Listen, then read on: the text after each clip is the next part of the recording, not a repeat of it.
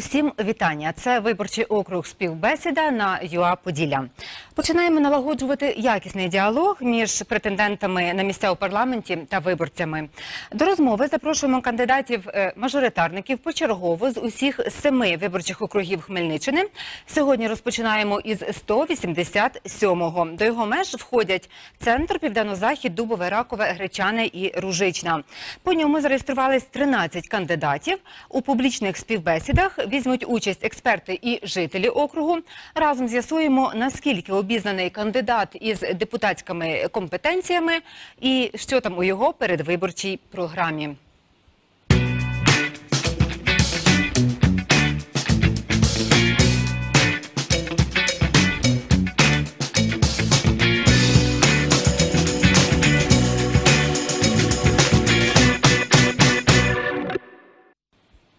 Згоду на участь у нашому проєкті дали 8 кандидатів із, е, нагадаю, 13 зареєстрованих по 187 округу.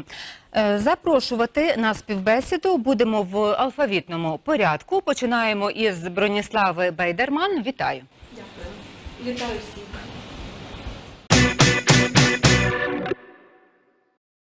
Бейтерман Броніслав Володимирівна народилася у Гайсині Вінницької області у 1958-му. Закінчила Гайсинський медичний коледж та Уманський державний педагогічний університет. До Хмельницького переїхала у 82-му. Без стаж з 80-го. Сім років працювала директором Хмельницького ліцею номер 17. Після того навчає математиці у тому ж закладі. Декларує зарплату та пенсію у 208 тисяч гривень на рік. Також квартиру площею 48 квадратних метрів та автомобіль Nissan Leaf 2011 року випуску. Заміжня член політичної партії опозиційна платформа за життя балотується від цієї ж політсили.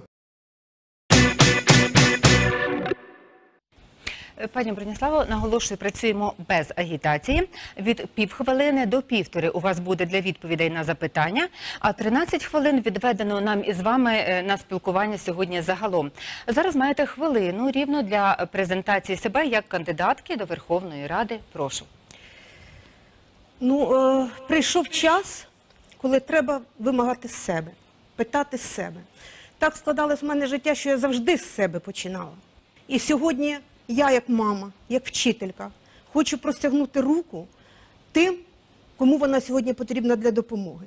Я сьогодні дуже хвилююсь. Я хвилююсь, тому що сьогодні держава у часі загроз, у часі багатьох запитань, чого я хочу. Я хочу, як мама, щоб мої діти жили в безпеці. Я хочу, щоб мої діти жили в мирі. Я хочу, щоб мир наступив в Україні для всіх дітей. Чого я хочу як вчитель? Я хочу, щоб освіта стала перспективою розвитку країни.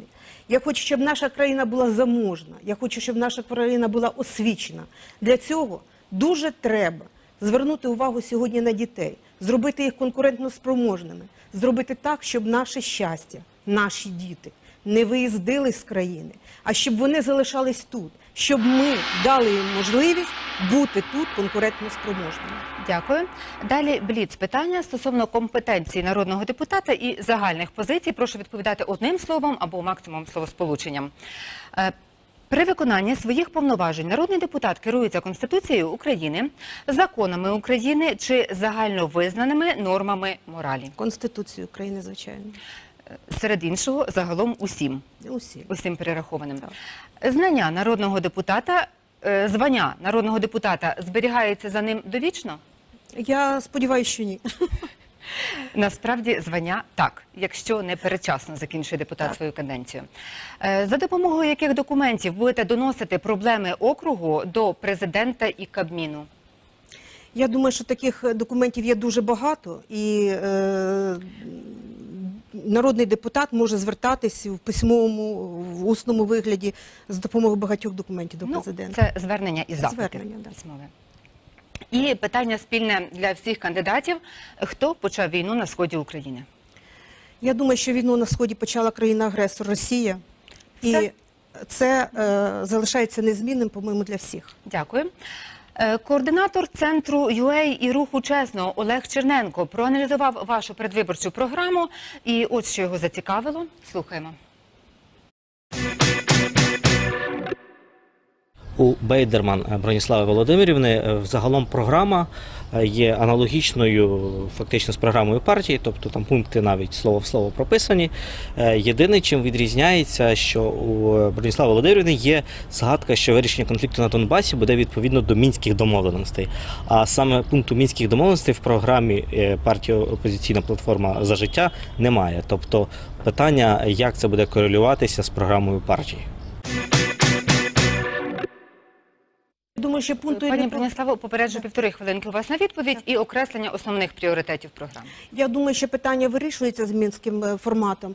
Не я сьогодні можу вказати, з який пункт там буде виконуватись, тому що сьогодні питання зависло в повітрі. Коли воно буде вирішено, е, а там я думаю, що серйозні люди е, займаються цим питанням, воно буде розв'язано і тоді буде вказано відповідно до якого пункту. Лише хочу сказати, що сьогодні мені би хотілося, щоб кожна партія дала шлях, який вона рахує правильним до отримання е, для отримання перемоги на Донбасі. А у нас дуже багато розумних людей, як у всіх партіях, так у всіх націях, так в усіх галузях освіти і науки України. І питання буде вирішено.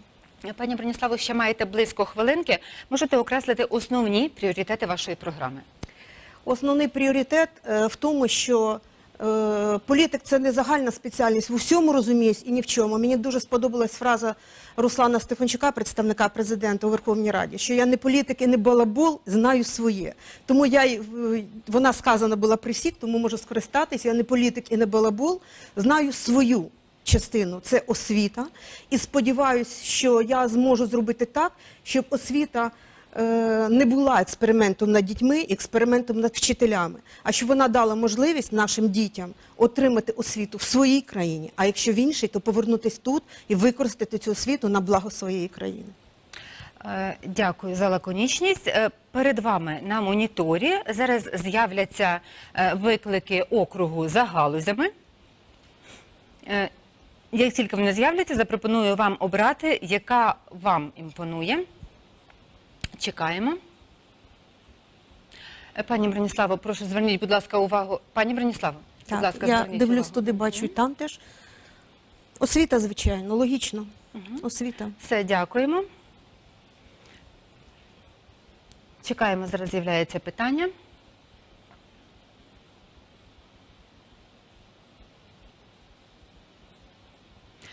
У Верховній Раді працює робоча група з підготовки проекту закону України про повну загальну середню освіту до другого читання. Надійшло понад 200 правок і зауважень. Яку правку в першу чергу внесли б ви? Ну, напевно, я би внесла вправку таку, що кожна реформа повинна працювати на учня. Ми це насправді декларуємо від Української народ... е, від Української Республіки. Але насправді так не виходить за результатом. Я би внесла таку правку. Якщо реформа, зміна працює на дитину, дає користь, вона першою має бути почута і прийнята. Це основне. І мають бути спеціалісти, які над цим працюють. Тому що у нас насправді з'явилось дуже околонаучних наук, багато спеціалістів. Коли ми дивимося програми, коли ми дивимося те, що нам декларують, іноді здається, що ці люди не працювали ніколи в школі. Я б ще одну, ще одну справу би внесла обов'язково, що ті, хто пишуть документи, обов'язково повинні були бути вчителями, а потім тільки давати якісь вказівки для тих, хто працює в школі. Що б викреслили повністю із е, цього закону? все, що е, е, от все, що помірковане, можна залишати. Є такі ура патріотичні, е, навіть не патріотичні, вони не патріотичні, тому що все, що на шкоду Україні, це не патріотичне. А так просто загальні речення. О, я загальні речення би всі викреслила, помірковані речі всі е, залишила. Все, що патріотичне, все, що на користь Україні, має залишитись. А те, що просто слова за словами не стоїть нічого, треба викреслювати. Ми любимо багатослів'я, з ним треба закінчити рано чи пізно, тому що результату воно не дає. Маємо записані відеозапитання від жителів округу. По хвилині будете мати на відповіді. коли підніму зарплату вчителям. Я вчитель. Дуже тяжко виживати на цю зарплату. знаю, що таке виживати на зарплату. Я була і зауч, я була вчителем, е, заучем, директором і знов вчителем пройшла всю цю історію. Знаю, що це таке. На жаль, це від мене не залежить. Але це один із тих моментів, вас які зараз мен- не залежить, Да, а коли- але це один з моментів, який мене штовхає на те, щоб рухатись далі, щоб е, пропонувати щось від себе. Насправді, тоді, коли вчитель буде шанобливо прийнятий в суспільстві. А шанобливо це перш за все, у нас не комунізм, ніколи його не буде і не потрібно нам його. Але він тоді буде прийнятий шанобливо, коли він буде мати гідну зарплату і буде думати про те, як йому провести урок, яку нову технологію запропонувати дітям. Для цього він має бути вільний. Вільна людина має бути тоді, коли держава його забезпечила не тільки заробітною платою, технічними засобами навчання, щоб вчитель зайшов в клас і не думав, де взяти крейду, де взяти якісь додаткові матеріали. Держава повинна забезпечити вчителям тим, чим має забезпечити держава, яка себе поважає. І це небагато. Наступне питання, прошу. Комунальні послуги, тарифи були трошки зменшені, бо дуже ну, високі, мені кажеться. Тут питання про тарифи. Ну, Якщо стаєте народним Ви депутатом, знаєте, як тут можна... теж е, багато слів сьогодні. Е, розумієте, кожен сьогодні прийде до вас і буде обіцяти. Я вам скажу, що одне, одне з тих питань, чому такий вибір в мене впав на платформу за життя, тому що люди, які в цій партії е, сьогодні знаходяться, колись робили ці тарифи меншими. І я дуже сподіваюся, ще я вірю в слова. І вірю, що вони е, зможуть щось робити, що тарифи повинні бути зменшені, говорить те, що люди єлі виживають. Такого не може дозволити собі держава, яка себе поважає, щоб люди виживали. Немає напрямку, немає думок про те, що придумати цікаве, творче, креативне, якщо людина має виживати. Це, звичайно, треба змінювати. І сподіваюся, що сьогодні у нас демократична країна. До влади прийдуть дуже багато сил. Більшість цих сил здорових сил, а в, в кожній силі є здорові, розумні люди. Я сподіваюся, що вони най- знайдуть спільну мову. Має бути тільки співпраця всіх на благо України. Тільки тоді ми маємо перемогу. Якщо ми будемо воювати і доводити, хто правий, а хто не такий правий, ми загинемо. Ми повинні знайти спільну платформу. Спільну. І ще одне питання від е, жителів округу. Коли школи і садики більш-менш оборудуються для наших дітей, коли це буде безкоштовно для батьків. Знаєте, е, коли я працювала директором і мені дуже допомагали батьки, мене впевнювали, що одне з тих питань, чому зі мною не продовжують контракт, це тому, що мені допомагають батьки.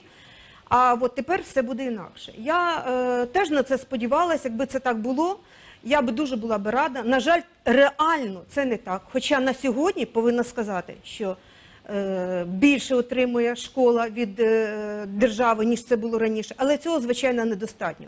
Знаєте, е, дуже хочеться. Я подивилася на ці три обличчя, які задавали питання. Дуже сумні, дуже загружені своїми заботами. Я розумію всі ці питання, тому що я жителька Хмельницького, так як і ви, живу в тому ж самому е, суспільстві, соціумі. Мені дуже хочеться, щоб ці питання наступного разу, коли хтось буде відповідати на них, щоб люди задавали з посмішкою і казали, да, ще не так, як би ми хотіли, але вже набагато краще. Я вам цього бажаю. Я бажаю цього собі особисто. Я дуже хочу, щоб хто б не прийшов до влади, зробив так, щоб всім нам було краще. І він в нашому обличчі отримає собі друзів І на і завершення послідовників. І на завершення ще одна порція бліців. Цього разу такі, така лайфова на знання округу, по якому ви балотуєтесь. Отож, перше також прошу відповідати е, одним словом або е, словосполученням. Орієнтовна кількість виборців на окрузі. От не готова, не скажу, але, мабуть, е, 120 тисяч. Близько, близько 150.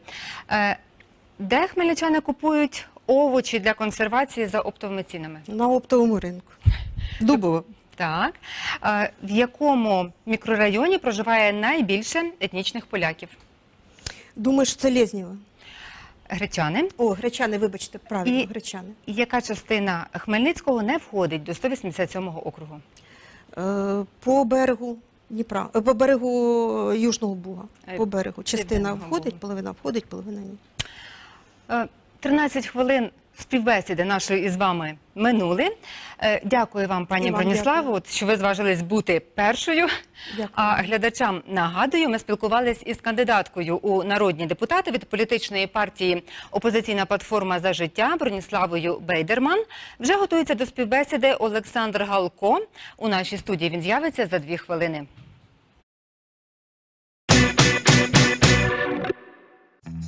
Обов'язки народного депутата України. Особисто брати участь в засіданнях Верховної Ради, голосувати особисто, брати участь у роботі комітетів і комісій, до складу яких його обрано.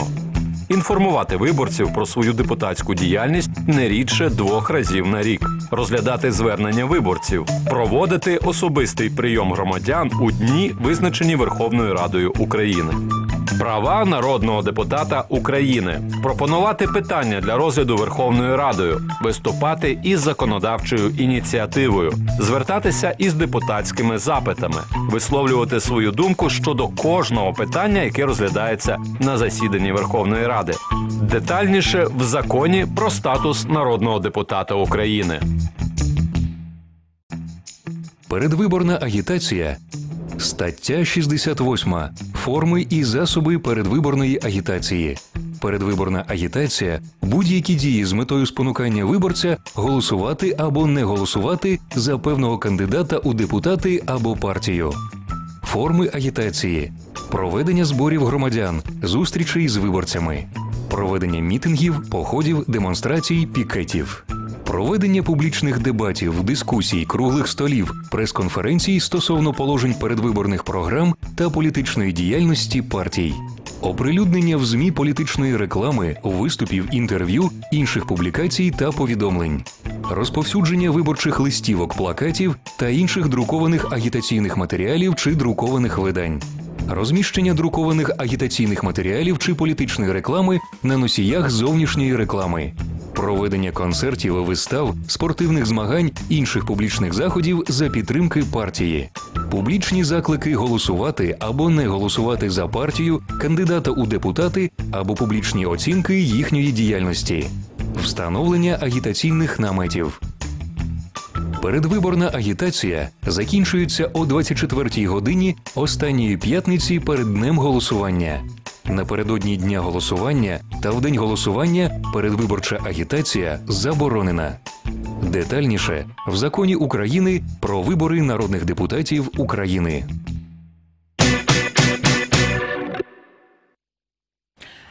Наш проект без агітації. Вітання всім, хто щойно приєднався. Це виборчий округ співбесіда на ЮА Поділля. Сьогодні спілкуємось із кандидатами по 187-му виборчому округу. У публічних бесідах беруть участь, е, окрім кандидатів, і експерти, і жителі округу. Разом з'ясуємо, наскільки обізнаний кандидат з депутатськими обов'язками і які акценти він робить у своїй передвиборчій програмі. Із восьми кандидатів по 187-му виборчому округу, округу, які погодились на участь в нашому проєкті, наступний за алфавітом Олександр Галко. Вітаю. Доброго вечора. Прошу, коротка інформація.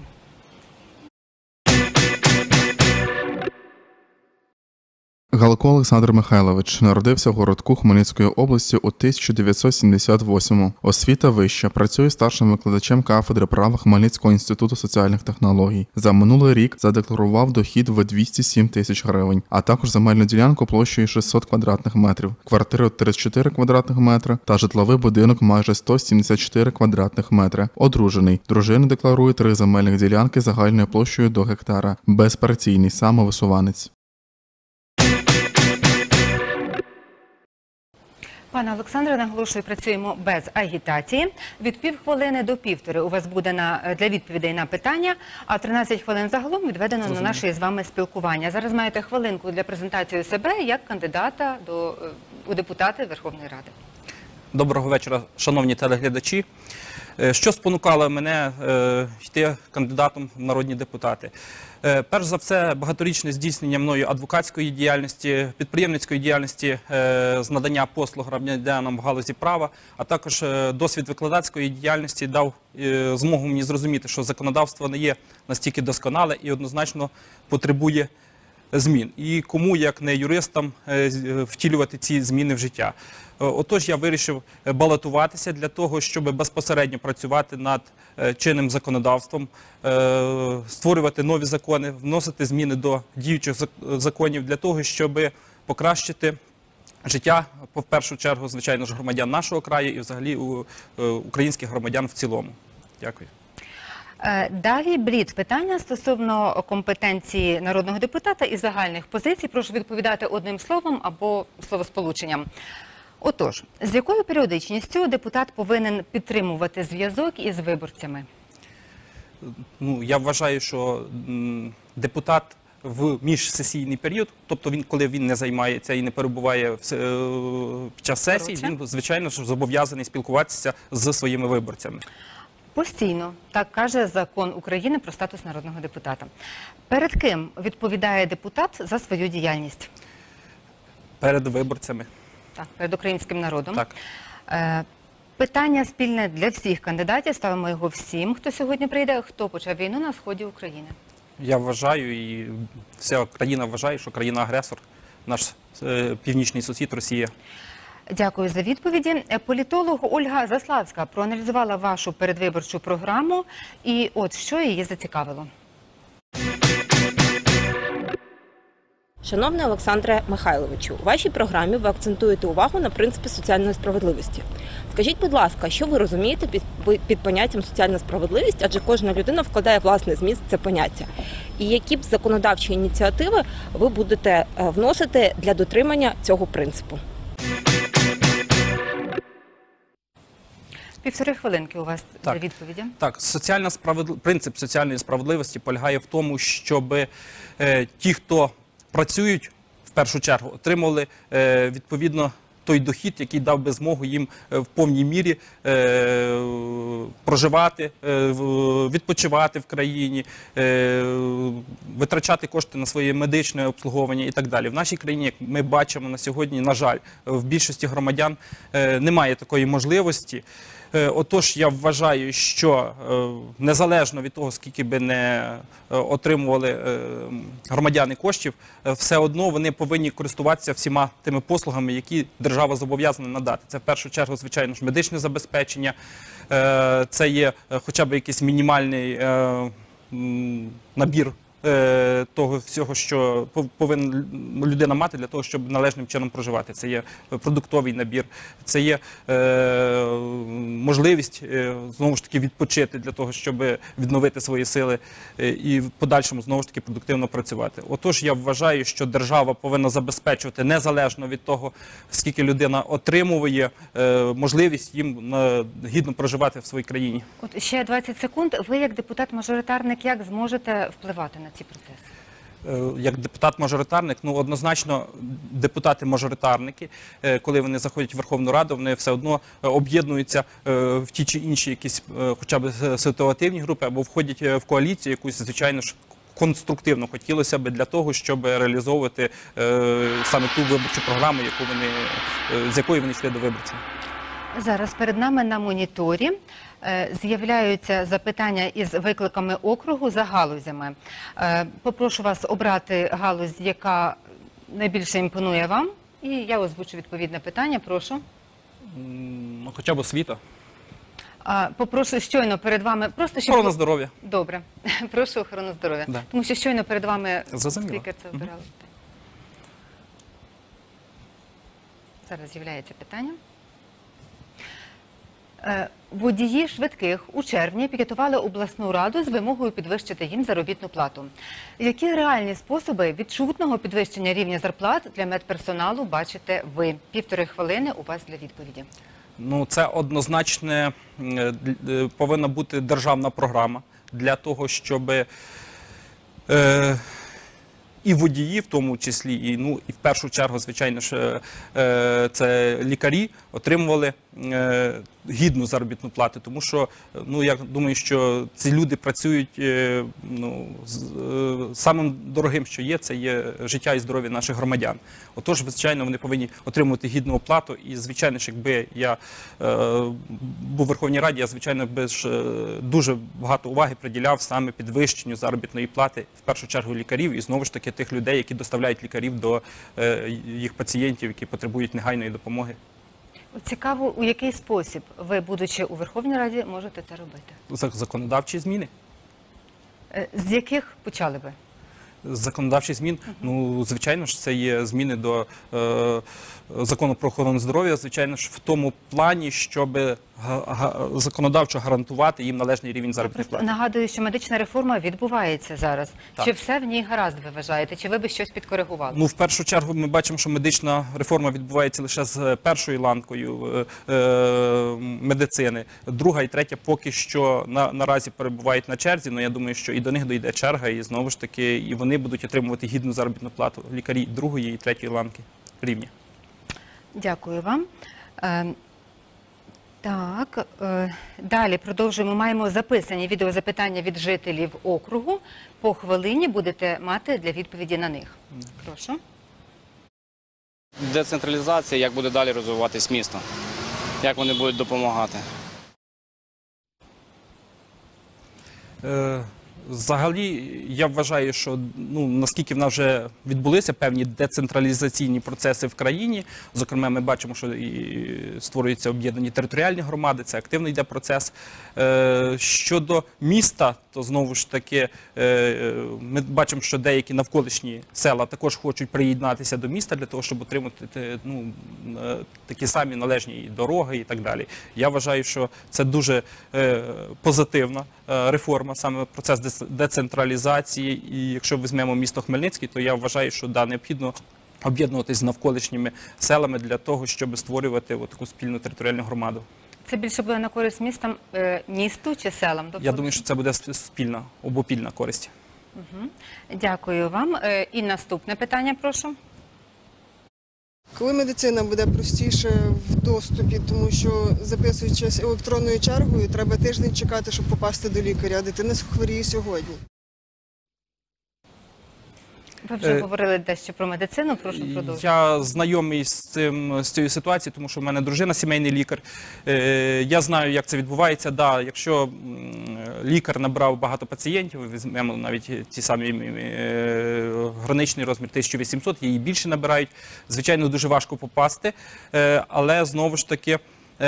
Якщо є нагальна якась ситуація, дійсно захворіла, до прикладу, навіть дитина і так далі, то лікар в будь-якому випадку приймає навіть це я по своїй дружині по практиці знаю, навіть якщо немає е, електронного запису, вона приходить, і коли дитина температура, що лікар приймає однозначно.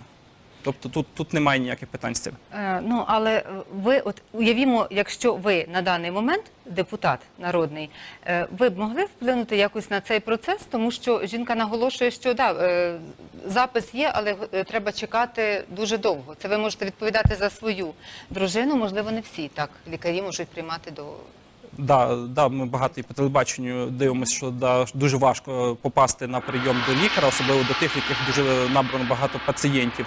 Звичайно ж, е, треба зменшувати норматив е, м- м- максимальне навантаження на, на ви лікаря, б тому що зменшували навантаження. однозначно Е, збереженням заробітної плати. Дякую. І ще одне запитання. Ну, єдина проблема зараз на сьогоднішній день це у нас війна. Ну і відповідно їхні дії, їхні плани щодо усунення цієї ситуації. Ну, взагалі, це дуже е, важке питання. Якби воно було легке, воно б вже давно було вирішене.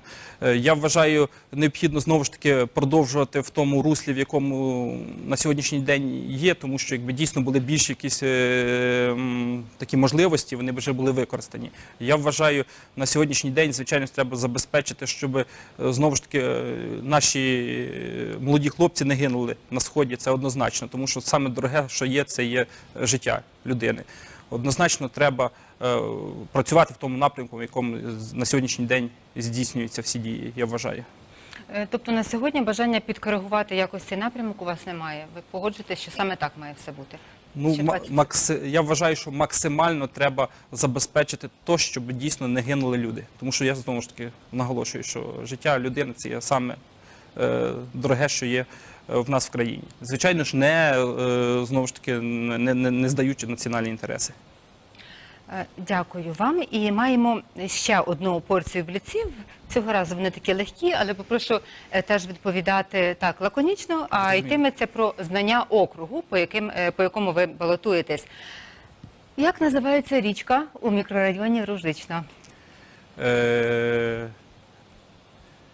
е, На К починається. е, Кудрянка. Так. Е, Де можна купити курчат або каченят у Хмельницькому? Е, в центрі е, біля е, автовокзала. Там є така алея, де продають. От, Так, біля Борчевого да, ринку, так, до- саме до- там. Да, і тома- домашні тварини, да, і, Е, В якій частині міста найбільше студентських гуртожитків? і вулиця Інститутська. Ну, а взагалі, якщо частину брати, там центр, захід, схід. Це південний захід. М, Ну, взагалі в центральній частині міста, бо є ще й в інших місцях. Дякую вам. І час, відведений для нашого спілкування, добігає кінця. Дякую, пане Олександре. Дякую вам, дякую телеглядачам. І глядачам нагадую, ми спілкувалися із кандидатом самовисуванцем по 187 округу Олександром Галком. Наступною готується до співбесіди Аліна Коваль. У нашій студії вона з'явиться за дві хвилини.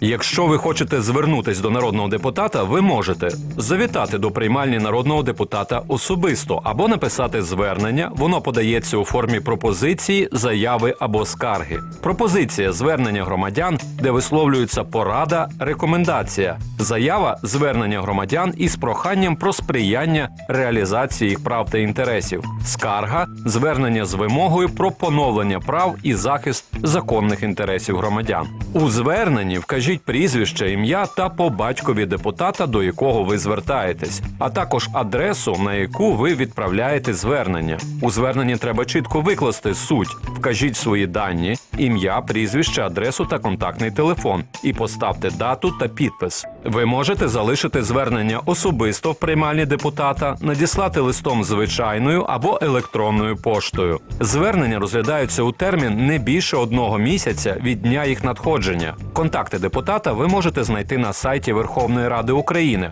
у розділі Народні депутати. Детальніше в законі України про звернення громадян. Виборча система України. Вибори народних депутатів України здійснюються за пропорційно-мажоритарною системою. 225 депутатів обираються у загальнодержавному багатомандатному окрузі. 225 депутатів обираються в одномандатних округах. Загальнодержавний округ це вся територія України та закордонний виборчий округ. Місця у Верховній Раді розподіляються за пропорційною системою між партіями, що отримали 5 і більше відсотків голосів. Чим більше голосів отримала партія, тим більше буде в неї місць у Верховній Раді. Одномандатні округи створюються в межах областей України та окремих міст з приблизно рівною кількістю виборців у кожному окрузі. Депутати обираються за мажоритарною системою. Обраним вважається депутат, який отримав найбільшу кількість голосів в окрузі. Детальніше в законі України про вибори народних депутатів України. Вітання всім, хто долучився. Це виборчий округ співбесіда на ЮА Поділля. Продовжуємо публічні співбесіди із кандидатами сьогодні по 187-му округу. Нагадаю, його межі центр Південно-Захід, Дубове, Ракове, Гречане і Ружична. В публічних експертах беруть участь експерти, а також жителі округу. Разом з'ясуємо, наскільки обізнаний кандидат або кандидатка е, із депутатськими компетенціями і подробиці е, в передвиборчій програмі. Наступна за алфавітом Аліна Коваль. Вітаю вас. Вітаю вас. Прошу, коротка довідка. Вітаю вас, шановні. Коваль Аліна Володимирівна народилася у селищі Ясне Волочиського району на Хмельниччині у 1976-му. Паралельно здобула дві вищі освіти педагогічну і економічну. Двічі була депутатом Волочиської міської ради, сім років її секретарем. Працювала у Хмельницькому центрі розвитку місцевого самоврядування. На сьогодні директор ТОВ компанії «Інвол», у якій має 60% корпоративних прав. Вона декларує 13 тисяч євро готівкою. Її чоловік понад 3 мільйона гривень і близько 300 тисяч в доларах і євро. Безпартійна балотується від політичної партії «Голос». Пані Аліно, наголошую, працюємо без агітації. Від півхвилинки до півтори у вас буде для відповідей на питання, а загалом для нашої з вами співбесіди відводиться 13 хвилин, а спершу маєте хвилинку для презентації себе як кандидата у народні депутати. Прошу. Так, дякую. Вітаю, шановні телеглядачі. Я Аліна Коваль. Я балотуюся по 187-му виборчому окрузі, але не одна, у складі партії молодих, досвідчених, фахових людей Святослава Вакарчука «Голос». Е, Я практик і фахівець у місцевому самоврядуванні. Я займалася питаннями регіонального та місцевого розвитку. Е, Я багато працювала над е, нашою новою реформою децентралізації. Об'єднувала добровільно територіальні громади області. Це були перші області на Хмельниччині, і вони стали пілотними для усієї України. Я в цій реформі бачу вихід для багатьох проблем, які стосуються багатьох рад сільських, міських, а також обласного центру. Давайте разом робити нашу Україну демократичною, децентралізованою, адже ми прямуємо в Європу, а там саме такі правила. Дякую вам. Далі бліц питання стосовно комп- компетенції народного депутата і загальних позицій. Прошу відповідати лаконічно одним словом або словосполученням. Перше, як часто народний депутат має інформувати виборців про свою діяльність? Не рідше одного разу на рік, але можна за бажанням і більше. І варто. Е, Не рідше двох разів на рік. Скільки разів за сесію нардеп може проголосувати замість свого колеги по фракції? Перепрошую, це заборонено законодавством. Дякую вам. Е, Правильна відповідь і питання спільне для всіх кандидатів. Хто почав війну на сході України? У нас є сусідня держава-агресор, яка спровокувала все, що ми маємо на сьогоднішній день. Росія. І е, координатор центру UA і руху чесно Олег Черненко проаналізував вашу передвиборчу програму, і от що його зацікавило.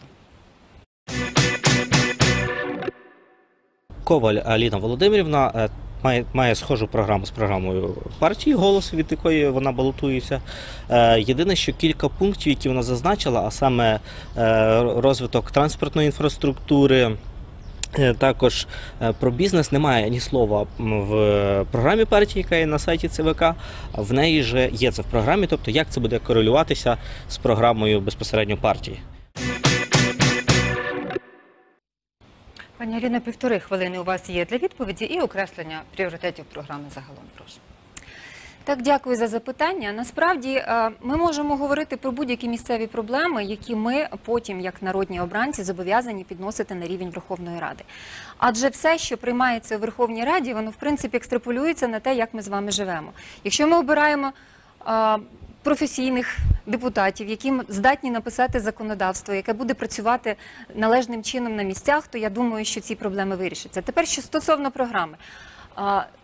Я написала про транспорт і про е, підприємництво свідомо, тому що я знаю, що місто Хмельницький є з одного боку містом підприємців і підприємництва. Тут народилося багато малих, середніх і великих підприємців, і для них потрібно працювати. Треба бути виразником їхніх інтересів і вирішувати їхні проблеми. Тому ці пункти є в моїй програмі.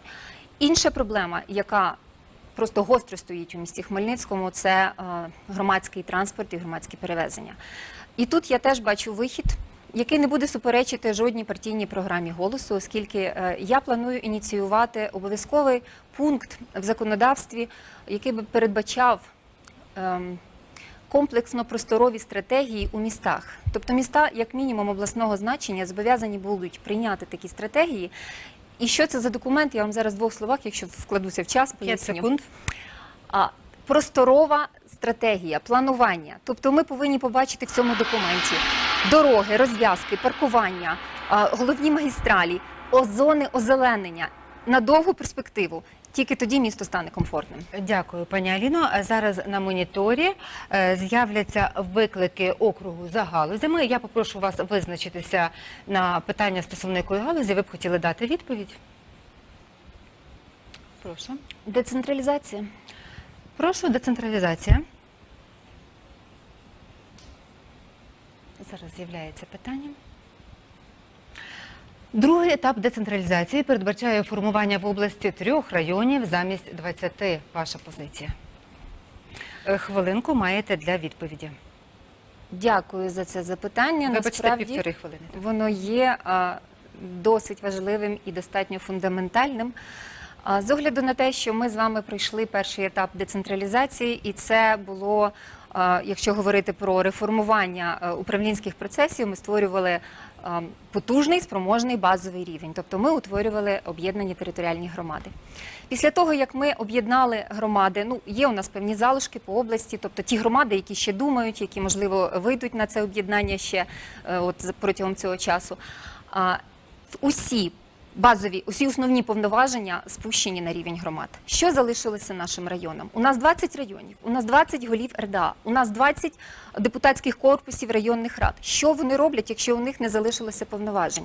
І не потрібно боятися, що коли е, у вашій місцевості не буде уже районного центру, то ви за якимись довідками чи послугами будете їхати кудись е, далеко в центр району. Усі послуги у вас на місці, в центрі вашої ОТГ. А район це інший субрегіональний рівень. Тому їх і багато не потрібно. Я є прихильником того, щоб ну, у Хмельницькій області було три райони. Там функція управлінська, там будуть префектури, там будуть офіси префекта, які будуть пильнувати, наскільки свої повноваження надані новими обсягами повноважень здійснюють е, ради ОТГ. На районах не залишиться повноважень, тому три райони цілком нормально. Дякую за відповідь. І маємо е, записані відеозапитання від жителів округу. По хвилині у вас буде для відповідей. Прошу. Зараз підвищують якби пенсію, так а порівнювати з заробітною платою, воно не відповідає дійсності. Пенсіонер, сплачуючи житлово-комунальні послуги, він не може собі право дозволити навіть купити, і, вибачте мене, то йде за картопля. Прошу, пані Аліна.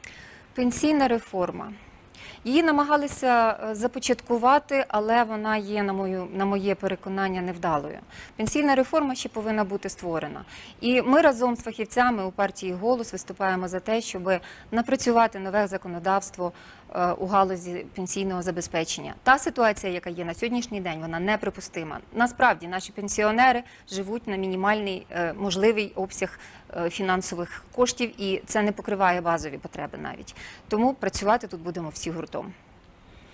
Свої перші кроки або пропозиції до зміни до законодавства, ви якими бачите? Буквально 20 секунд. Підвищити мінімальний рівень пенсії можна тоді, коли ми наведемо лад в надходженнях до державного бюджету. Якщо державний бюджет буде наповнюватися коштами, відповідно, забираємо олігархічні домовленості, забираємо корупційні ризики, наповнюємо податками наш бюджет, сплочуємо до пенсійного фонду, перераховуємо. Я думаю, що тут питання би могло би бути вирішене, але пенсійна реформа це не лише бюджет і наповнення коштів. І над нею потрібно працювати. Ще одне маємо питання.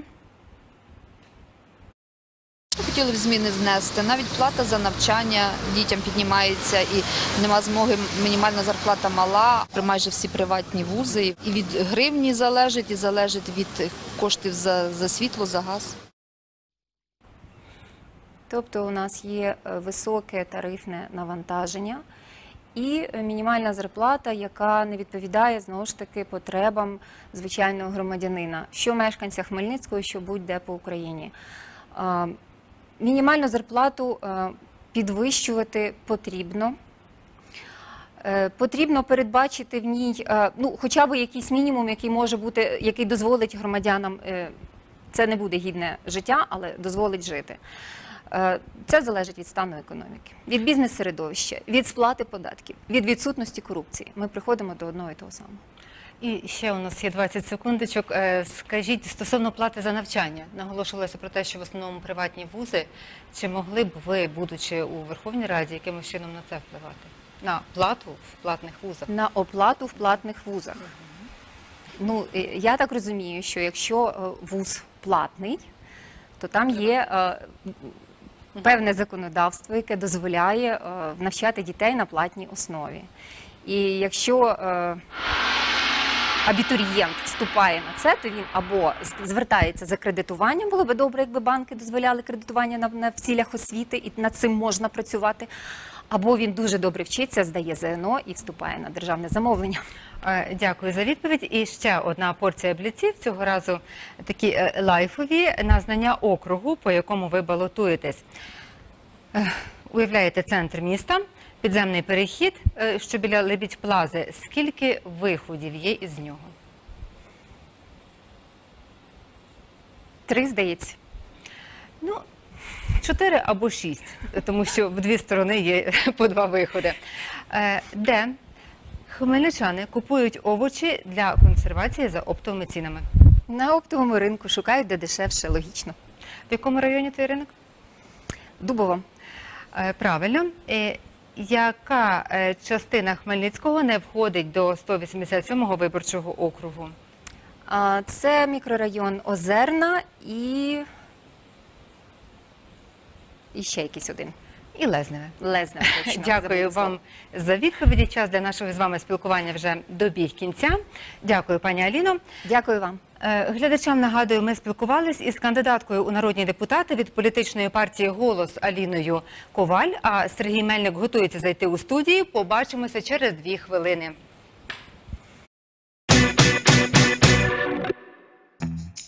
Етапи законотворчого процесу. Законопроект запропонований текст закону. Закон прийнятий нормативно-правовий акт.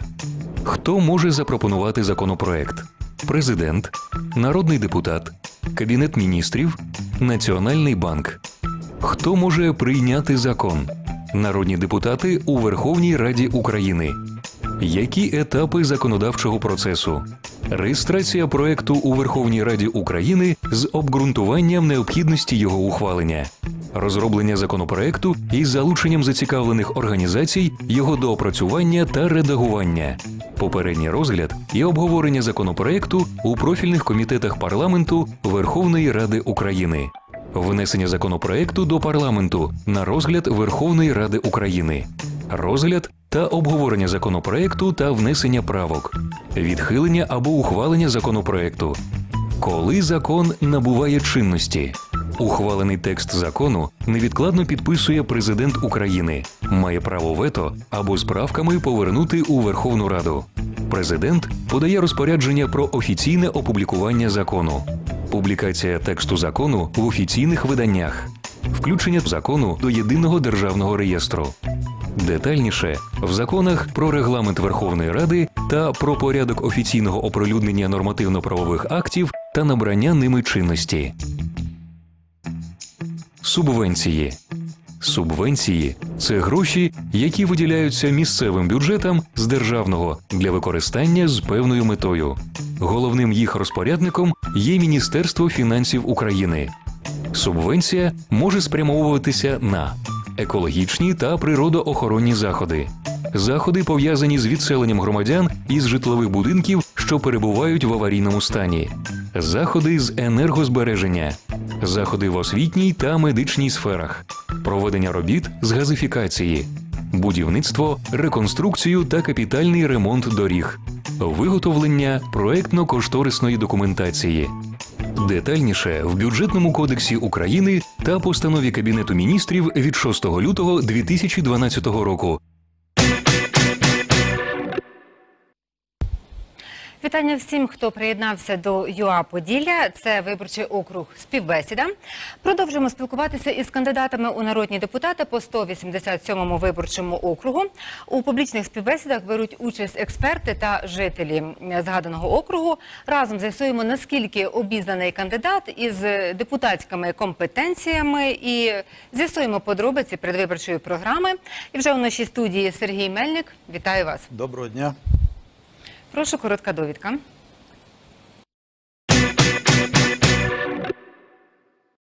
Мелінг Сергій Іванович народився у Маломолинці Хмельницького району у 1965-му, має вищу економічну освіту. З 1990-го обіймав адміністративні посади, пов'язані із економічною діяльністю у Хмельницькій міській обласній адміністраціях. Двічі поспіль обирався Хмельницьким міським головою. З 2014-го народний депутат по 187-му виборчому округу від ВО Батьківщини. У Верховній Раді увійшов до фракції БПП. Декларує земельну ділянку понад 2 гектару в Маломолинцях, а дружина квартиру 126 квадратів і будинок у Хмельницькому понад 400 квадратних метрів. У минулому році отримав майже півмільйона зарплати. Безпартійний, самовисуванець.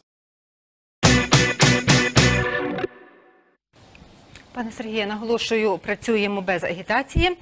Е, Від півхвилини до півтори у вас буде для відповідей на питання, і 13 хвилин загалом відведено для нашого із вами спілкування. А зараз маєте хвилину для презентації себе як кандидата у народні депутати. Прошу. Е, Я працюю в бюджетному комітеті, і основна робота, е, яка була присвячена, це фінансова децентралізація. Я вважаю, що за цей період е, зроблено великий крок, прийнято зміни до бюджетного кодексу, значно посилено фінансові ресурси об'єднані територіальні громади, міста обласного значення і В нас є приклади в області вже успішного об'єднання. Є декілька районів: це Старосинявський, Новушицький, які об'єдналися. І я вважаю, що в цьому напрямку, звичайно, потрібен подальший рух. Саме головне, що, скажімо, дві найбільших галузі це освіта і охорона здоров'я, було переведені на субвенцію. Є субвенція на освіту, є субвенція на охорону здоров'я, що знову таки вивільнило е, місцеві бюджети, дало можливість направляти кошти на інші цілі: на дошкільну освіту, на розвиток інфраструктури, на дороги, е, на е, житлово-комунальне господарство. Дякую вам. Далі бліц питання стосовно компетенції народного депутата із загальних загальних позицій. Ви кандидат із депутатським досвідом. Прошу відповідати одним словом або словосполученням. До яких ступенів секретності державних таємниць має доступ народний депутат? Ну, нам оформляють, е, так як е, е, і по облдержадміністрації, доступ до держтаємниці, і в принципі ми маємо доступ, крім таємних видатків, що стосується Міністерства оборони. Е, Вони розглядаються в закритому режимі. Е, Зацитую, як прописано у законодавстві до всіх після письмового зобов'язання щодо збереження держтаємниці. Е, Скільки помічників може мати народний депутат? Може мати на платній основі до чотирьох, а, скажімо, на громадських засадах кількість в принципі не обмежена, але ну, є таке правило там десь до 30. Так, до 31. І просто уточнення, скількох маєте ви? Е, Маю трьох на платній основі і там десь біля семи на громадських засадах. І питання спільне для всіх кандидатів. Хто почав війну на сході України? Ну, я думаю, це питання зрозуміло. Е, Росія сьогодні агресор, і я думаю, якби е, Росія не втручалась, не починала, цей би конфлікт був би давно закінчений. Е, Політолог Ольга Заславська зауважила, що е, ваша передвиборча програма складена найпрофесійніше е, серед самовисуванців, а запитала про таке. Шановні Сергію Івановичу, оцініть, будь ласка, вашу роботу у Верховній Раді. Чи вдалося вам реалізувати завдання, окреслені вашій попередній програмі, програмі кандидата в народні депутати? Що саме особисто ви пролобіювали для міста Хмельницького за цей період? Назвіть головні проблеми міста Хмельницького, які, на вашу думку, е, сьогодні потребують першочергового вирішення. І чи є, чи є у вас рецепт вирішення цих проблем? Дякую. Е, Пане Сергію, півтори хвилинки у вас для відповіді. Е, Я вважаю, що я, як колишній міський голова, і сьогодні в Раді у нас сім міських голів: це Дніпропетровськ, Хмельницький, Тернопіль, е, Чернівці з великих міст. Є міста меншого значення. Я вважаю, що якраз оця асоціація міських голів ми працюємо е, щодо подальшого розвитку місцевого самоврядування, і саме головне це покращення фінансової бази. Щодо основної проблеми міста Хмельницького, я був міським головою, побудував 10 кілометрів Чернелівського водогону. Сьогодні за цей період, в цьому році виділено 30 мільйонів. Я сподіваюся, що ми вийдемо в цьому році на 20-й кілометр. Тому що ну, в останню неділю був порив, да, всі згадують про Чернелівку, коли місто добу без води. І останній порив був на 23-му кілометрі. Ми думали, що до 20-го дійдемо і десь можна передишку зробити. На жаль, ні. Тому основне питання, десь більше 80 мільйонів коштів субвенції соціально-економічний розвиток було спрямовано саме на будівництво, продовження будівництва другої гілки. Ви знаєте, що е, 18 кілометрів працює в двохтрубному режимі. Якщо на старій е, нитці є порив, перекривається за 5 кілометрів і тоді забезпечено. Тому я вважаю, треба продовжувати ну як мінімум до 25-го кілометра, і це великий ресурс. На сьогоднішній день десь більше 300 мільйонів. Забезпечення міста якісною водою, я вважаю, це пріоритет номер один для міста. Хто в Києві буває, може порівняти якість води чи в нашій Вінниці. Вінниця бере воду з Буга. Зараз, зараз перед нами на моніторі з'являться виклики округу за галузями. Обирайте будь-яку. Е, Крім комунальної тому охорона що здоров'я. Е, Прошу, давайте охорону здоров'я.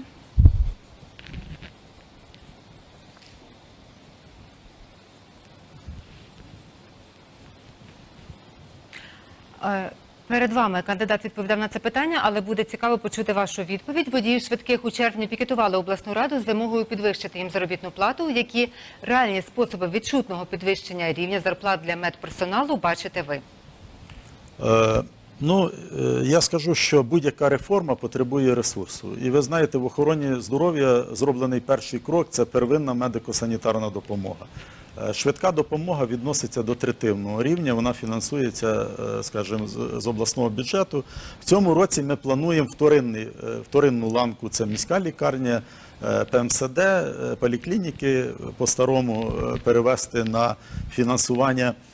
Тому е, сьогодні питання стоїть, що треба як мінімум сім областей в державному бюджеті. Ми передбачили в вигляді експерименту ті області, де створили базу і єдину систему е, швидкої надання е, швидкої допомоги. Вони в цьому році йдуть по експерименту. На жаль, це тільки сім областей. Але е, ми хотіли Хмельниччина не входить в цей Хмельниччина, експеримент. от Тернопільщина війшла, вони раніше, вони встигли раніше. Розумієте? Тобто, е, з іншої сторони, звичайно, це потребує ресурсу. Тому, якщо в освіті е, все-таки міністр пішла на те, щоб на одну тарифну сітку збільшити, ми, ми пропонували так само в охороні здоров'я, ну як мінімум зробити. Тому що є питання сьогодні, скажімо, лікар вторинної чи третинної ланки 5 тисяч, і сімейний лікар там 12-15 тисяч. Але Е, Сподіваємося, що покроково в наступному році, якби не було цих три роки, ви знаєте, в цьому році е, 1 трильйон бюджет, 440 мільярдів у нас повернення боргів. Настав час просто повертати борги, тому три роки дуже складні, але треба збільшувати ресурси. Я думаю, що е, це та ланка, яка надає ургентну допомогу, тому е, вони мають бути в пріоритеті. Е, Можливостей пришвидшити цей процес Е, збільшення Можливості пришвидшити цей процес, я думаю, можна переглянути, е, якщо буде активна позиція областей, можна переглянути субвенцію і збільшити кошти. Як в минулому році, в кінці року, ми збільшували субвенцію на охорону здоров'я, щоб виплатити заборгованість по зарплатам в охороні здоров'я. Дякую вам. Е, Маємо записані відеозапитання від жителів округу. По хвилині у вас буде для відповідей на них. Прошу.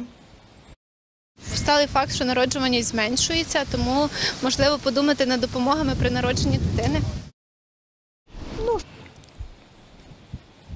Я вважаю, е, що от з тих старих, е, скажімо, якщо ми так привикли, може реформа це дуже голосно звучить, ну змін. Е, Я вважаю, що якраз от виплати допомоги на дітей при народженні першої, другої, третьої дитини.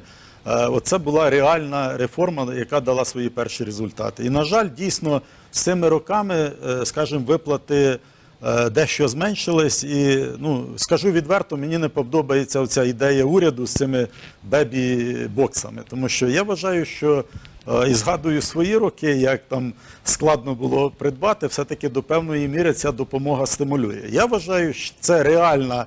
Допомога єдине, треба відпрацювати механізми, щоб не було на цьому зловживань. Ви знаєте, для багатьох е, сімей, скажімо, окремих, ця допомога стає просто як е, системою е, якогось утримання, тому що ми, ми також хочемо відійти від інтернатів. Ми хочемо, щоб всі діти були е, усиновлені не іноземцями, а українцями, як по прикладу Швеції. В Швеції всі діти усиновлюються в своїй країні. Маємо ще одне запитання. Прошу. Ну, щоб нам пенсію додали. Ми пенсіонери і заплати трошки, щоб краще нам жилося.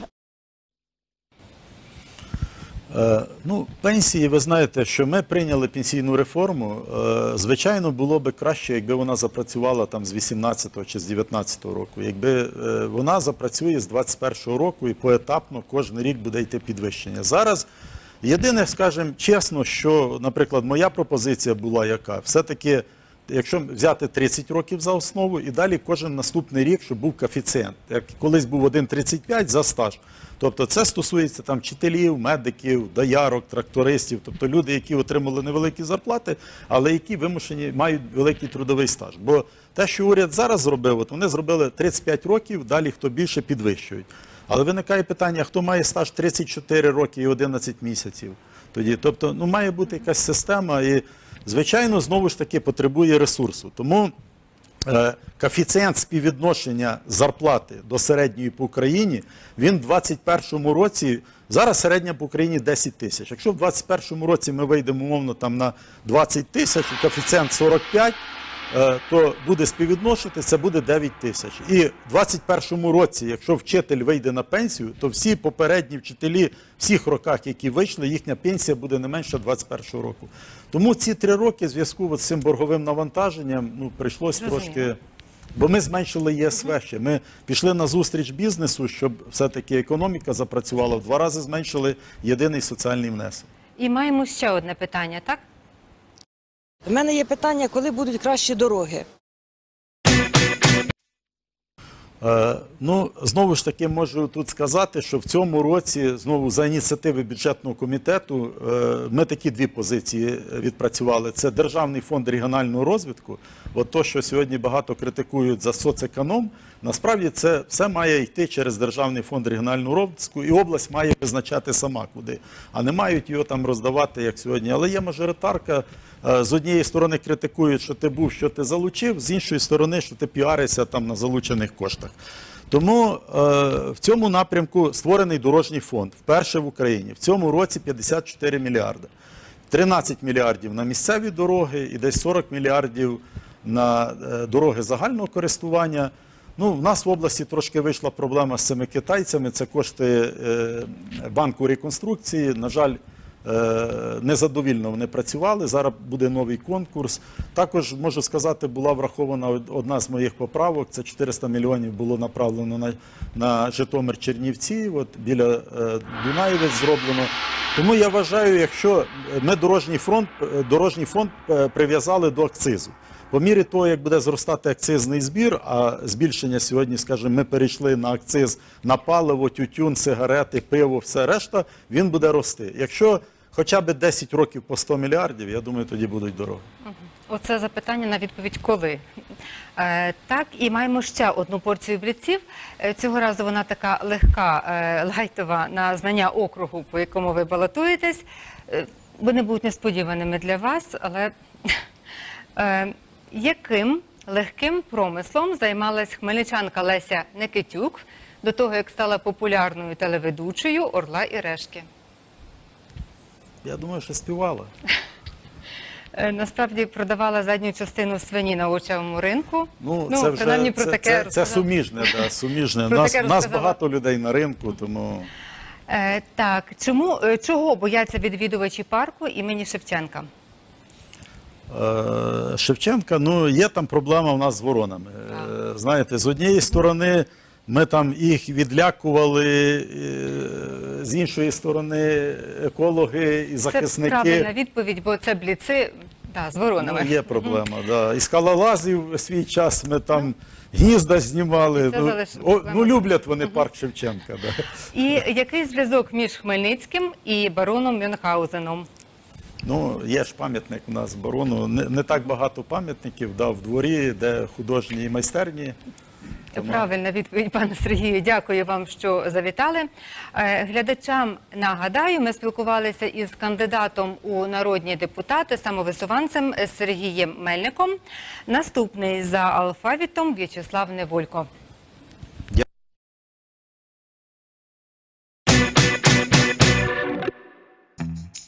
Етапи законотворчого процесу.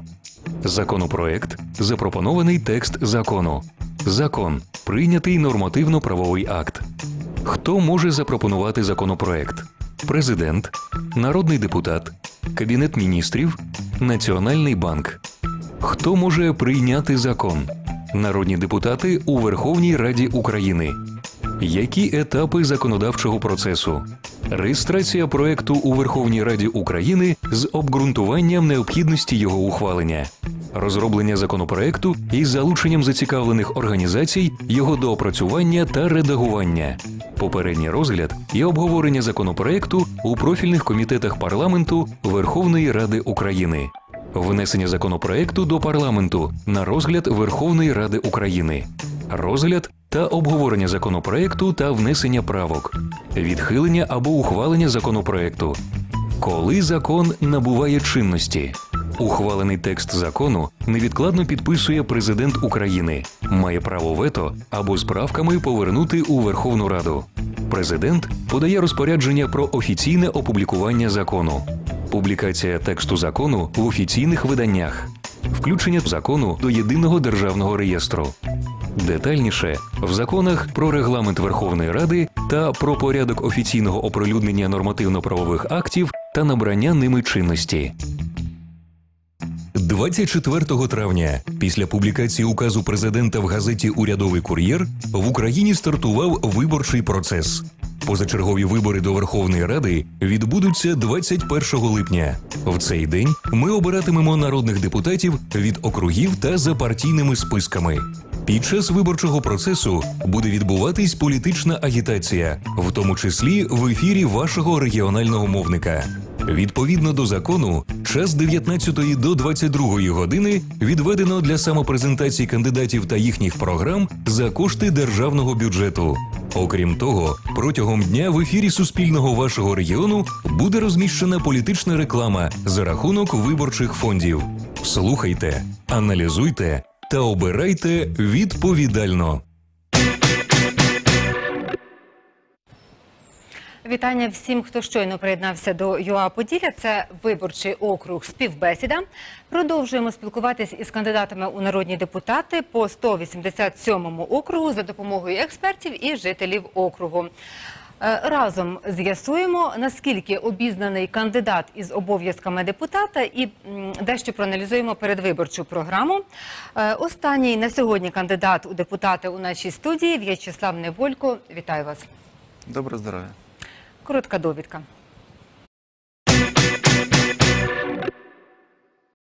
Неволько Вячеслав Анатолійович народився в селі Пальчики на Чернігівщині у 1965-му. З 2015-го професор фінансового та банківського права, член-кореспондент і академік Міжнародної кадрової академії. З 2016-го академік Української технологічної академії у сфері юриспруденції і права. Є власником трьох компаній, помічником консультантом народного депутата України. За 2016 задекларував квартиру в Києві, земельну ділянку та житловий будинок площею 260 квадратних метрів у Батурині. Ще 253 тисячі євро, 32 тисячі доларів і 405 тисяч гривень. Одружений, проживає у Києві, безпартійний, балотується від політичної партії Всеукраїнське об'єднання Батьківщина.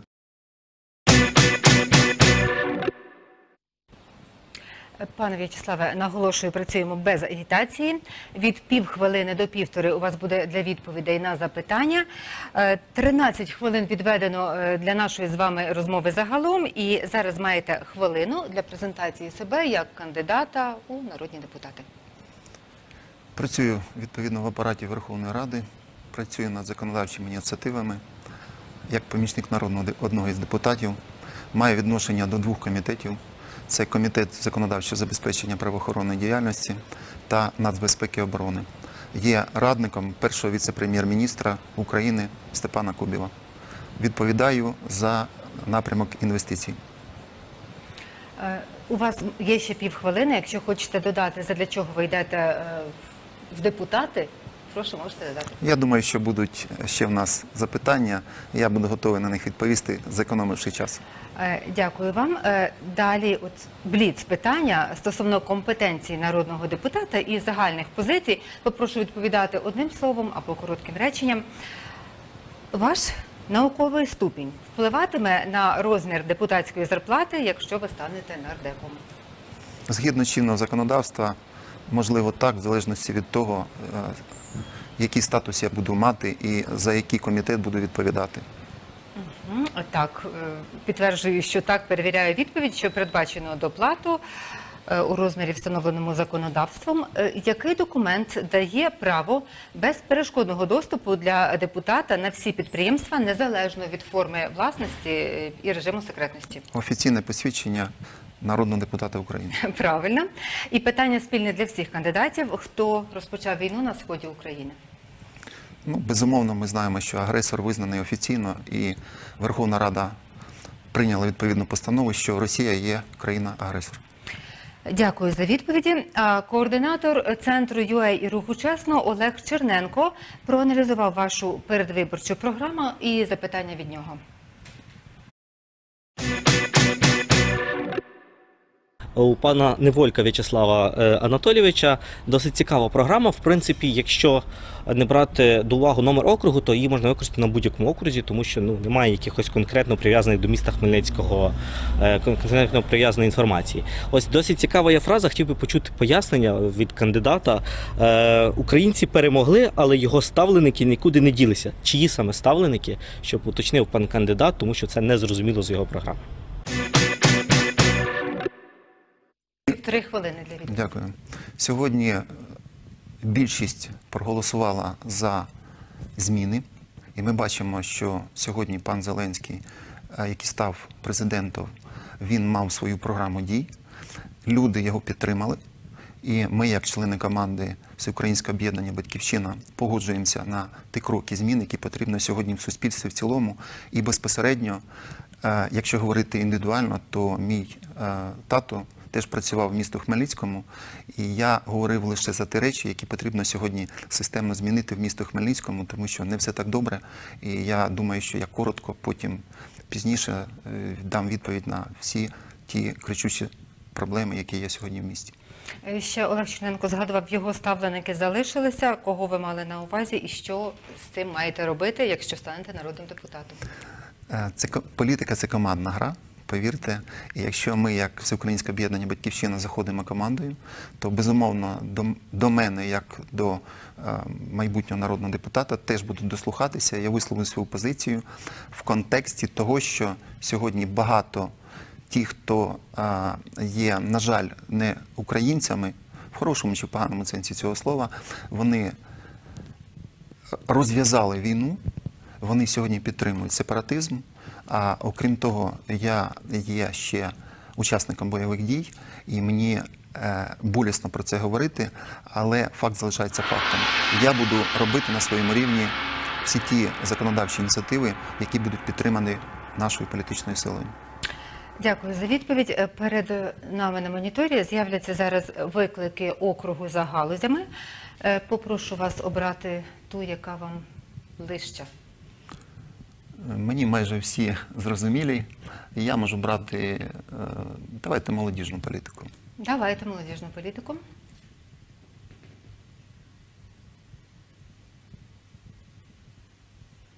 З'являється зараз запитання.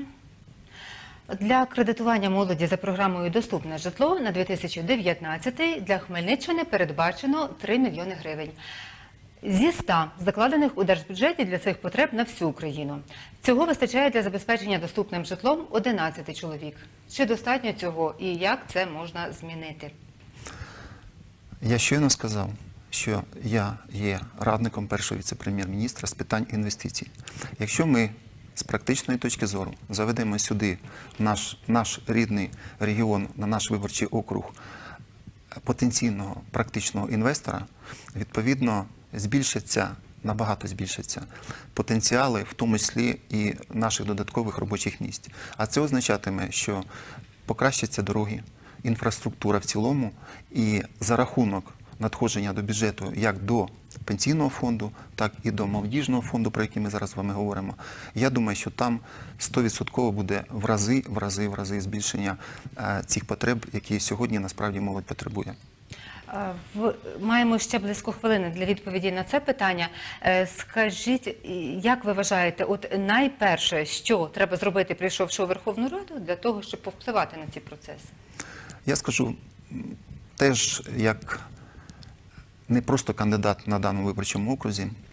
Е, Я лобіював і лобіюю в робочій групі при Кабінету міністрів для того, щоб колегальний орган подав Верховну Раду і вже затвердив в другому читанні законопроект про державне приватне партнерство. Це означатиме, що потенційний практичний інвестор, зайшовши на рівну чи відповідних долях до е, в даний регіон, я думаю, що він буде мати ті ж самі права і можливості е, разом з державою, щоб отримати ці гарантії і ту дотацію, яку потрібно сьогодні е, нашому регіону. Друге питання теж дуже важливе. Я вважаю, що потрібно додати або експериментально провести в нашому рідному місті Хмельницький це законопроект про вільну економічну зону. Я перепрошую, час уже Так, вичерпано. дякую. Можливо, іншим разом. І маємо записані відеозапитання від жителів округу по хвилині. У вас буде для відповідей на них? Прошу. Дякую. От на наші паї тримаємо нагороди. Дуже сильні налоги. Для, за що ж платити? Що ж нам держава дала? Неодноразово давав інтерв'ю щодо стосовно землі, чи потрібно її продавати, чи не потрібно. Наша програма дій дуже проста. Сьогодні е, ми свідомо розуміємо, що е, вже певна кількість земельних паїв вона є в приватних руках. Я за обмеження, тільки за обмеження цієї кількості, це може бути приблизно від 200 до 300 тисяч гектарів в одні руки, або юридичний, або практичний. Чому? Тому що е, нам потрібно формувати подальшому інвестиційний клімат. І наші закордонні партнери цього будуть вимагати, в тому числі. А щодо податку на паї, запитала жінка, чи ви вважаєте, що вони адекватні? Е, Я скажу вам, що це, е, на жаль, чи на користь на місцевому рівні вирішується, і народний депутат може вносити тільки свої зауваження, правки або зміни до вже діючого закону. Е, Маємо ще одне питання. Прошу, слухаємо. Зарплатню людям, щоб піднімали. Я 36 років пропрацювала, а тепер мені опустили ніже плінтуса. І мені от зараз йти на пенсію, що з цієї мінімальної зарплати. Я отвечаю на русском языке, так как женщина задала на русском языке. Так вот, с первого этого месяца добавили 76 гривен к тому, что имеют минимальной заработной платы. И его соста- составляет цифра чуть более 1600 э, гривен. Это означает, что этот прож- прожиточный пенсионный минимум вообще никому не интересен. Нужно э, катастрофически срочно менять всю потенциально ту систему, о которой мы говорим. Е, Попрошу вас переходити вже на українську. Добре, і дякую. з чого треба починати? Ну, потрібно подати відповідні законопроекти, потрібно змінити ту реформу, яка сьогодні е, іде. Зрозуміло, що її не потрібно а, в цілому, а, потрібно лише зробити ті правки, необхідні правки, які сьогодні покращать життя безпосередньо наших з вами рідних пенсіонерів. У нас на окрузі а, 31 тисяча 627, якщо я не помиляюсь, така цифра. Із 140 тисяч понад 140 тисяч 600 е, 700 там виборців. Це означає, що велика кількість, і їм потрібно допомагати в першу чергу. Дякую вам за відповіді. І ще маємо одне запитання е, від жителів округу. Так, прошу. Курс України. Чи він буде збережений, чи почнуть цей корабль крутити хто, хто куди? От ваша позиція стосовно. Сьогодні курс, який був обраний стратегічним у нас, він затверджений всіма відповідними постановами. Навіть е, ми чули з вуст великих наших політиків в хорошому розумінні цього слова, що ми його не міняємо. Це курс в Європейський Союз і НАТО. Я його підтримую. Прийшовши у Верховну Раду, ніяких коректив в цьому напрямку ви би не пропонували. Ні. Залишаєте все як є. Так. Маєте ще півхвилинки для відповіді, тому що далі будуть бліци і все. Якщо хочете ще щось додати стосовно, якщо стаєте народним депутатом, е, на що звернете увагу основну? 30 секунд може. Я скажу, що є декілька питань е, в нашому рідному місті: це водогін, це аеропорт і це сміттєзвалище. Я окремо готовий запропонувати реальну дорожну карту щодо інвестицій, які можуть війти і безпосередньо е, всі будуть, сподіваюсь, задоволеним моїм потенційним практичним проєктом. Дякую за відповіді. І на завершення ще одна порція таких легких бліців. Прошу відповідати дуже лаконічно. Але ці бліци якраз на знання от виборчого округу, по якому ви балотуєтесь. Е, Що таке Хмельницька толкучка? Це провокаційне запитання, безумовно, але скоріше за все це базар. Е, Так, це речові ринки, от на Львівському і геологів. А коли там вихідний? В понеділок. Дякую. Е, Є ще четвер, але основний понеділок. Е, Скільки мікрорайонів входить до 187-го виборчого округу? Дільниць 81, е, основних, м, можу помилитися, 3 чи 4.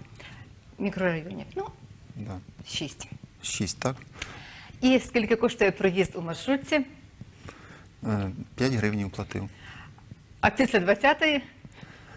Е, Я, так як учасник бойових дій, е, я користуюсь е, інколи пільгами, а інколи сплачую так, як, То після 20-ї користуйтесь пільгами, бо він у нас по 6 після 20-ї.